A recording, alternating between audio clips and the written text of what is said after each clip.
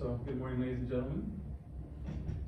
So, modern technology today has significantly improved and keeps growing, right, overall, than it used to do back then, right? And the overall set use of this technology is being more used now and affordable now than it used to be back then. Like you have nowadays, you have an adolescent or a teen, or you know, even one of us, right, with the newest iPhone or the MacBook, right, or an Android device that has been barely just released, right? Or even like kids sometimes with like kid-based tablets in a restaurant, right, distracting themselves. And as much as I hate to sound like that old back in my day kind of guy, right? Um, I have realized that there is some truth in what those old timers were speaking of, right? Have you ever heard the saying, too much of something is never good for you? Well, to a certain extent, I do agree with that saying in relevance to my topic, that is, which is excessive screen time is harmful to our society and has a harmful impact.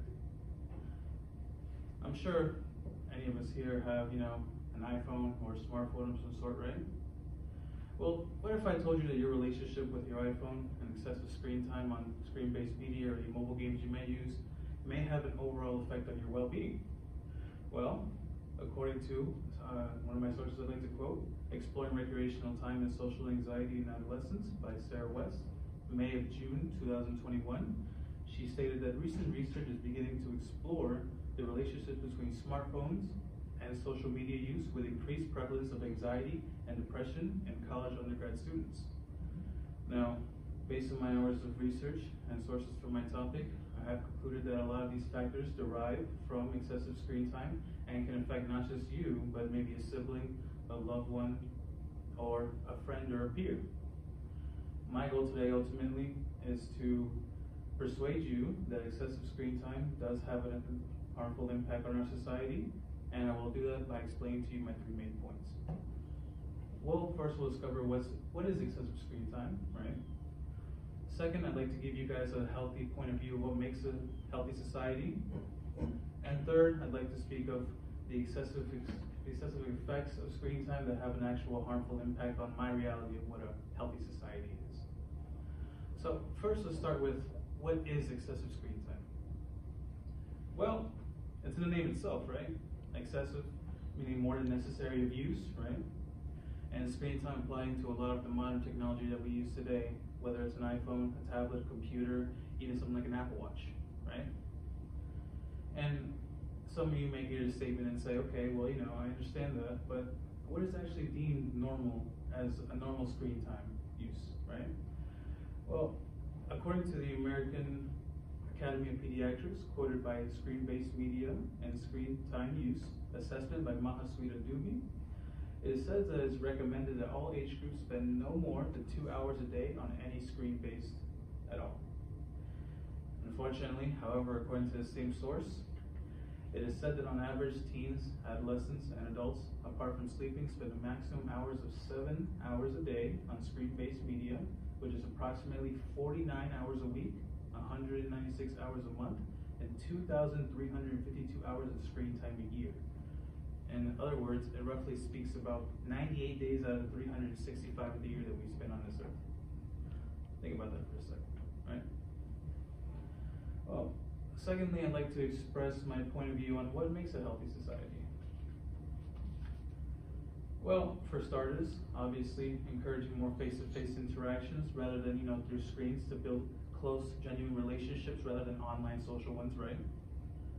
Also, the limited use of recreational screen time, i.e. video games, computers, TV, and encouraging more outdoor physical activities like sports, fishing, camping out, or anything as simple as a walk. Any of those things will promote a more active lifestyle to children, teens, adolescents, and adults, and not to mention also improve their overall physical and mental health. In addition to these improvements, something else you can do rather than you know spending time on screen is you know inspire to learn yourself a new skill or participate in a community in an event of some sort, right? And this may not also help just you, but also help anybody else or encourage anyone that may have ideas but not know how to form them due to them being more on screen than you know interacting with face to face. Well, finally, I'd like to explain the effects of something as simple as excessive screen time that can have an overall ruined expectation of what my point of view of a healthy society is? Well, first and foremost, our sleep. Getting enough sleep is so important, as you all know, right? And excessive screen time ruins the amount and the quality of sleep that you may get if you're using any of your devices at night. I'd like to actually quote one of my sources Can too much screen time harm you? By Scholastic Incorporated 2020. It is stated that the blue light from screens can reduce the amount of melatonin your body naturally produces.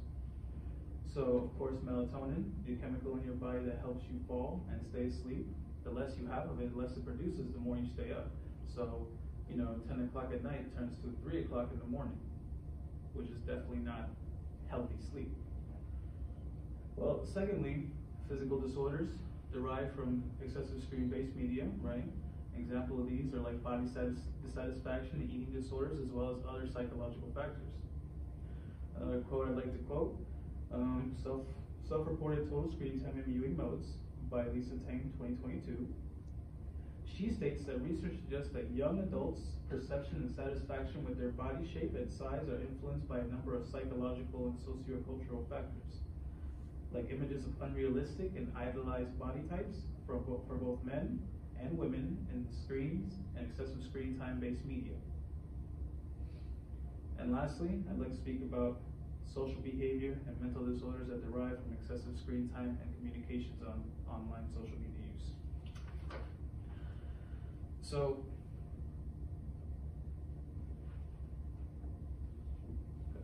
all right. So, Modern technology today has made it easier for you to stay in the comfort of your own home while attending school online, working from home, or even virtually hanging out and maintaining relationships with a group of people that you've never met before, like Facebook, Metaverse, things like that, right? But the problem with these sort of, this sort of lifestyle is that when it requires, when it removes the requirement to interact with the outside world, in the long run causes more problems than one.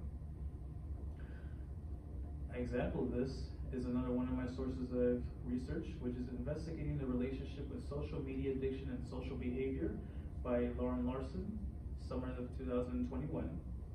She states that initial evidence suggests that the increased use of communication may be detrimental to online communication, my apologies, may be detrimental in interpersonal relationships, which lead to more peer aggression and relationship apprehension and a lack of psychological well-being close personal ties that are associated with non-digital communication. So basically saying that the more you spend on something, right, the less that you have to interact and develop actual genuine relationships with people face to face on face value versus online. And not to mention, the more you self-isolate yourself from your screen and avoid face-to-face interactions, the more chance you become socially awkward while presented in public interactions, thus leading to feelings of fear, which is social anxiety, right? And of course, hesitation to speak to speak to people on a face-to-face interaction value. So, in conclusion, my overall goal was to persuade you that excessive screen time has a harmful impact on our society. And I hope I've done this once again by explaining my three main points. First point being excessive screen time is, you know, more than necessary use of any device. Two, encouraging more face-to-face interactions, limiting the use of electronic devices, and instead substituting it with outdoor activities to improve overall physical and mental health as well as taking on maybe a new skill or be getting active in your community to raise overall productivity and creativeness. And finally, how excessive screen time affects your overall sleep, as well as psychological and sociocultural problems with body, like body, body dissatisfaction and mental disorders, as well as a social anxiety increase in human interactions that ruin my expectations of what a healthy society is. I hope you do find this information useful and insightful. And you know, as for me, I have learned to you know put my phone down a little bit less. You know, like ten minutes. But you know, I'm getting a little better at it. Hopefully, I'll get to an hour, and you know, two hours, and so on and so forth. That is my speech. Mm-hmm. Any questions?